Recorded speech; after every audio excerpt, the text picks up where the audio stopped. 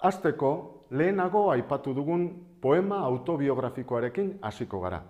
Mosen Bernat Etxepareren kantua izeneko poemarekin alegia.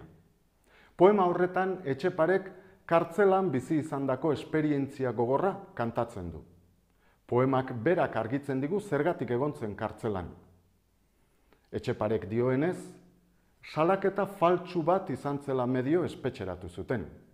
Nafarroa konkistatu zutenean, Espainiako errege zen Fernandoren alde jardun zuela zabaldu omen zuen norbaitek.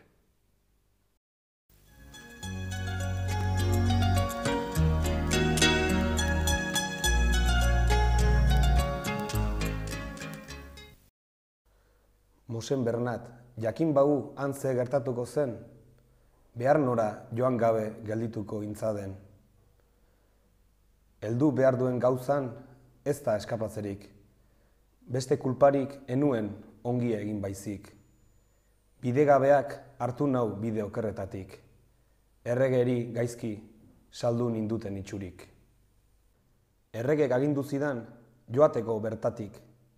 Aserretan zegoela, baina nik ez kulparik.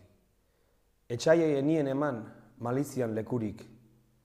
Arengana joan nintzen ies egin gaberik. Ene oinez jauzi nintzen etxaiare mendean.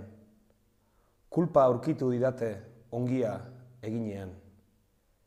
Haien pean ezpanengo nengoke zuzenean.